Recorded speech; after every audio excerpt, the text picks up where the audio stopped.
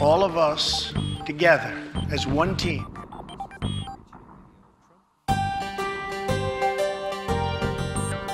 We all share the same home.